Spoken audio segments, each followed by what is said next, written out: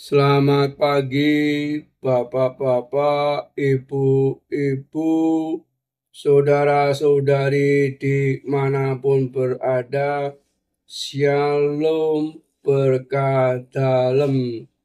Berjumpa kembali dengan Sugeng Pramono dari Solo dalam kisah singkat Santo Dismas, penjahat yang bertobat.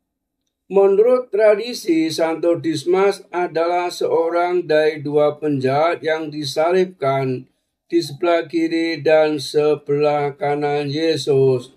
Dalam Injil dikisahkan bahwa penjahat yang satu tidak menyesali perbuatannya, namun penjahat yang satunya lagi menyesali perbuatan jahatnya.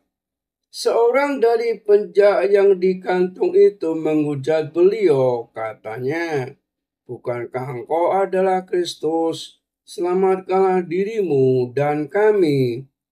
Tetapi yang seorang menegur dia, katanya, Tidakkah engkau takut juga tidak kepada Allah? sedang engkau menerima hukuman yang sama, kita memang selayaknya dihukum, sebab kita menerima balasan yang setimpal dengan perbuatan kita. Tetapi orang ini tidak berbuat sesuatu yang salah.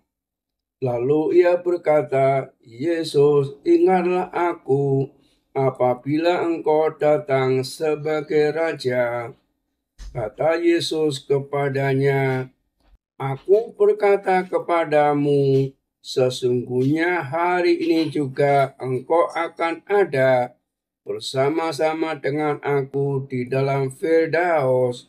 Lukas 23 ayat 39 sampai 43. Di dalam Injil Lukas, penjahat yang bertobat itu tidak disebutkan namanya. Dalam Injil Nikodemus, Injil Apokrif berasal dari abad keempat. Nama pencuri yang baik adalah Dismas dan pencuri yang menghujat Yesus bernama Gestas. Dalam Injil Tufuliah atau Injil Apokrif abad ke-6 namanya Titus dan pencuri yang buruk bernama Damaskus. Tradisi gereja ortodok Rusia menyebut namanya sebagai Rah. Santo Dismas dipandang sebagai teladan bagi orang yang mau bertobat. Selain itu, ia menjadi santo pelindung bagi orang yang dihukum mati.